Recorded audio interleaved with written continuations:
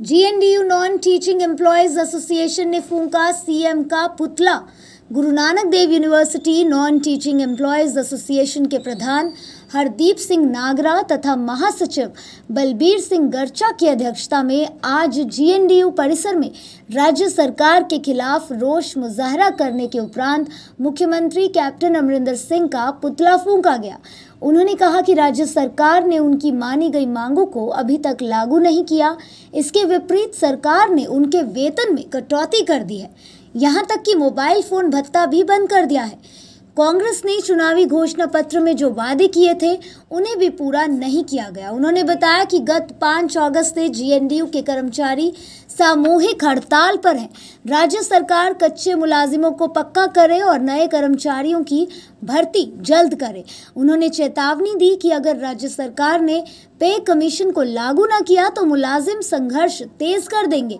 इस मौके Naresh Monga, Rajesh Kalia H S Tina Jagir Singh, Manpreet Singh, Bhagwant Singh Sidhu, Vishal Vij, Hardeep Singh, Jyoti Prasad, Surjit Singh, Tejwant Singh Gill, Gursharan Singh, Resham Singh, Avtar Singh, Ramandeep Singh ਇਤਿਆਦਿ ਉਪਸਥਿਤ ਥੇ। ਸਾਰੇ university non teaching association Punjab ਸਰਕਾਰ ਦੇ ਸੱਦੇ ਤੇ ਜਿਹੜੀ 5 ਤਰੀਕ ਤੋਂ ਸਾਡੀ ਪੈਨ ਡਾਊਨ ਸਟ੍ਰਾਈਕ ਕਾਲੇ ਬਿੱਲੇ ਲਾ ਕੇ ਰੋਸ ਮਾਰਚ ਤੇ ਅੱਜ ਸਾਡਾ ਅਰਥੀ ਫੂਕ ਸਮਾਗਮ ਸੀਗਾ, ਜਿਹਨੂੰ ਤੁਸੀਂ ਲੋਕਾਂ ਨੇ ਕਵਰ ਕੀਤਾ ਆ।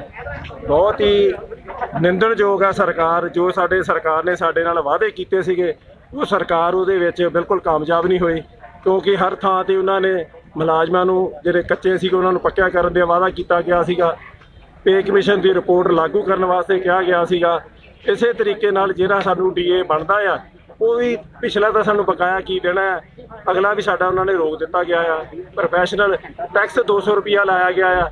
ਇਸ ਲੋਟੂ ਸਰਕਾਰ ਨੇ ਇੱਕ ਮਨਟੇਕ ਸਿੰਘ ਆਲੂਵਾਲੀਆ ਦੇ ਨਾਂ ਤੇ ਇੱਕ ਕਮਿਸ਼ਨ ਬਣਾਇਆ ਆ। ਉਹ ਮਨਟੇਕ ਸਿੰਘ ਆਲੂ ਆਲੂਵਾਲੇ ਨੇ ਰਿਪੋਰਟ ਦਿੱਤੀ ਹੈ ਵੀ 200 ਰੁਪਏ ਤੋਂ ਵਧਾ ਕੇ ਪੰਜਾਬ ਜਿਹੜੇ ਮੁਲਾਜ਼ਮ ਕੰਮ ਕਰਦੇ ਨੇ 1650 ਰੁਪਇਆ ਪਰ ਮੰਥ ਇਹਨਾਂ ਦਾ ਕੱਟਿਆ ਜਾਵੇ। ਮੈਂ ਪੁੱਛਣਾ ਚਾਹੁੰਦਾ, ਮਨਟੇਕ ਸਿੰਘ ਆਲੂਵਾਲੀਆ ਨੇ, ਉਹਨੇ ਇਹੋ ਜਿਹੇ ਕਿਹੜੀਆਂ ਚੀਜ਼ਾਂ ਲਾਗੂ ਕੀਤੀਆਂ ਨੇ ਜਦੋਂ ਭਾਰਤ ਸਰਕਾਰ ਦੇ ਵਿੱਚ ਸੀਗਾ ਵੀ ਭਾਰਤ ਨੂੰ ਇੰਨਾ ਮੁਨਾਫਾ ਹੋਇਆ ਹੋਵੇ ਕਿਤੇ ਜਾ ਕੇ? ਪਰ ਇਹਨਾਂ ਨੂੰ ਸਿਰਫ ਸਾਡੇ ਮੁਲਾਜ਼ਮ ਹੀ ਦਿਖਦੇ ਨੇ, ਜਿਨ੍ਹਾਂ ਤੋਂ ਟੈਕਸ ਵੀ ਲੈਂਦੀ ਪਈ ਹੈ ਤੇ ਉਹਨਾਂ ਦੇ ਛੱਤਰ ਵੀ ਮਾਰਦੀ ਪਈ ਹੈ ਤੇ ਸਾਨੂੰ ਰੋਣ ਦਾ ਹੱਕ ਵੀ ਨਹੀਂ ਹੈਗਾ। ਅੱਜ ਇਸ ਸਰਕਾਰ ਦਾ ਹੀ ਪਿੱਟ ਸਿਆਪਾ ਕੀਤਾ ਹੈ। ਕਿਉਂਕਿ ਸਾਰੇ ਪੰਜਾਬ ਦੀਆਂ ਜਥੇਬੰਦੀਆਂ ਨੇ ਰਲ ਕੇ ਕਦੇ ਕਿਸੇ ਨੇ ਕੋਈ ਦਿਨ ਰੱਖਿਆ ਸੀ, ਕੋਈ ਦਿਨ ਰੱਖਿਆ ਸੀ। ਗੁਰੂ ਨਾਨਕ ਦੇਵ ਯੂਨੀਵਰਸਿਟੀ ਨੂੰ ਸਾਨੂੰ ਅੱਜ ਦਾ ਦਿਨ ਮਿਲਿਆ ਸੀਗਾ। ਅਸੀਂ ਇਹਦਾ ਪਿੱਟ ਸਿਆਪਾ ਕੀਤਾ ਆ ਅੱਜ ਮੁੱਖ ਮੰਤਰੀ ਤੇ ਪੰਜਾਬ ਦੀ ਕੈਬਨਿਟ ਦਾ ਹੀ ਪੁਤਲਾ ਫੂਕਿਆ ਆ। ਜੇ ਇਹਨਾਂ ਨੇ ਹਜੇ ਵੀ ਇਸ ਚੀਜ਼ ਤੋਂ ਬਾਜ ਨਾ ਆਏ, ਕਿਉਂਕਿ ਸਾਨੂੰ ਸੁਣਨ ਦੇ ਵਿੱਚ ਆਉਂਦਾ ਪਿਆ ਇਹਨਾਂ ਨੇ ਹੋਰ ਵੀ ਭੱਤੇ ਕੱਟਣ ਦੀਆਂ ਤਿਆਰੀਆਂ ਕੀਤੀਆਂ ਹੋਈਆਂ ਨੇ।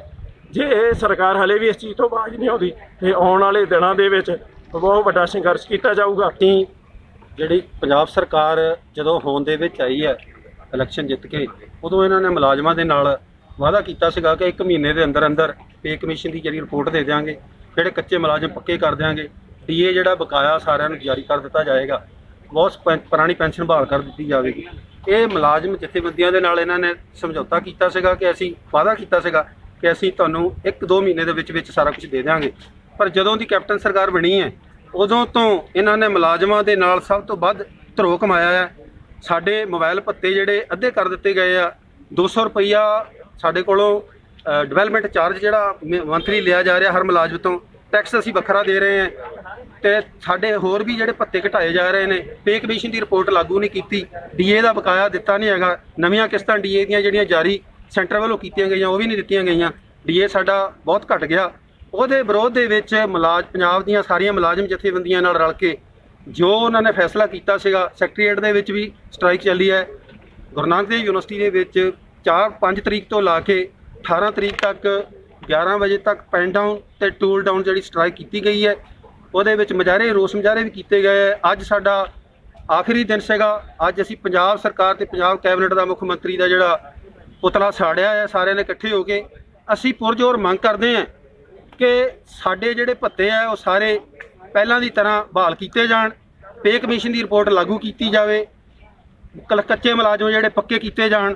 ਹੋਰ ਵੀ ਜਿਹੜੇ ਸਾਡੇ ਨਾਲ ਪ੍ਰੋਮਿਸ ਕੀਤੇ ਪੁਰਾਣੀ ਪੈਨਸ਼ਨ ਜਿਹੜੀ ਸੁਪਰੀਮ ਕੋਰਟ ਨੇ ਜਦੋਂ ਬਹਾਲ ਕਰਤੀ ਹੈ, ਤੇ ਫਿਰ ਇਹ ਸਰਕਾਰਾਂ ਕਿਉਂ ਨਹੀਂ ਕਰ ਰਹੀਆਂ? ਸਾਡੀ ਪੁਰਜੋਰ ਮੰਗ ਹੈ ਕਿ ਸਾਡੇ ਆਉਣ ਵਾਲੇ ਦਿਨਾਂ ਦੇ ਵਿੱਚ ਜਲਦੀ ਤੋਂ ਜਲਦੀ ਇਹ ਮੰਗਾਂ ਸਾਡੀਆਂ ਪੂਰੀਆਂ ਕੀਤੀਆਂ ਜਾਣ।